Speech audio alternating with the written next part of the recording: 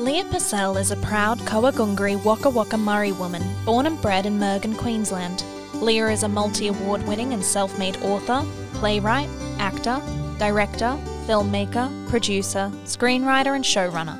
At the heart of her work are female and First Nation themes, characters, and issues. This fellowship enables Leah the time and space to undertake research in her great grandmother's country for future projects.